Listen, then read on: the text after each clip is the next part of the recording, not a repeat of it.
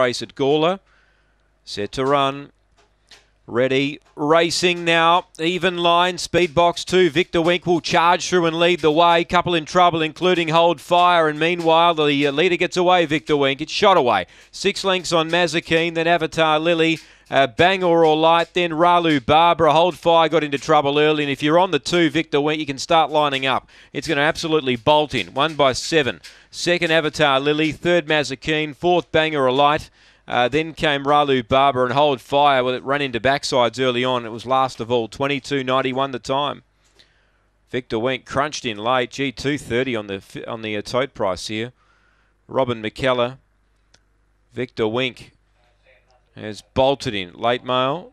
Six second Avatar Lily. Five third Mazakine. One gets fourth Banger Alight.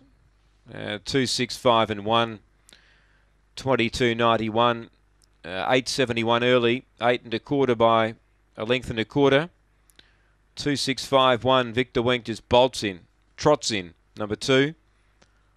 Never in doubt. Avatar Lily through to second and Mazakine holding on into third. One gets fourth, 22.91 the time. Run home in 14.20 on the last race here tonight. We'll have the all clear to follow shortly.